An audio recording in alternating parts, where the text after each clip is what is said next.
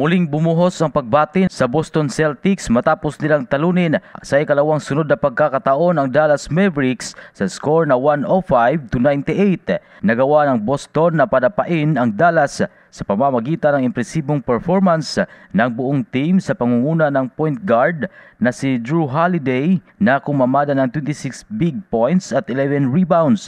Muli nagpakita ng all-around performance ang power forward na si Jason Tatum. Ibinabad si Tatum ng 45 minutes at naglabas ito ng 18 points, 12 assists at 9 rebounds. Nagambag din ng 21 points at sa 7 assists si Jalen Brown. Hindi naging uh, sapat ang 32 points, 11 rebounds at uh, 11 assists triple-double performance ni Luka Doncic para patumbahin ang Boston. Limang player din ng Dallas ang nag-ambaga ng double-digit points kasama ang 16 points ni Kyrie Irving at 17 kay PJ Washington. Sa unang quarter ng laro, agad nagpakita na magandang shooting performance ang Dallas at umiscore ng 28 points habang 25 lamang ang ganti ng Boston.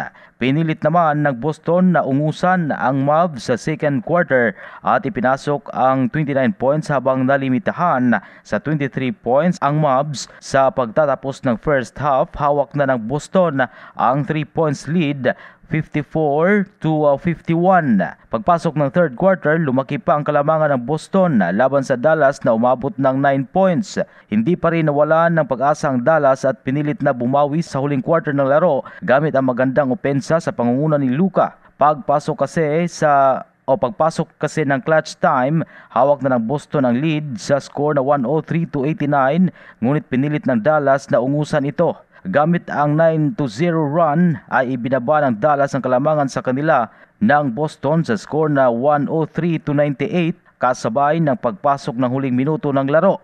Gayunpaman, hindi na rin hinayaan ng Boston na makagawa muli ng panibagong run ang rumaragas ang Mavs at tinapos ang laro sa score na 105-98 gamit ang magandang depensa. Agad namang bumuhos ang pagbati mula sa mundo ng NBA para sa Boston Celtics kasunod ng ikalawang panalo ng kupunan laban sa Mavs na pinamumunuan ni na Luka Magic at uh, one-time NBA champion Kyrie Irving.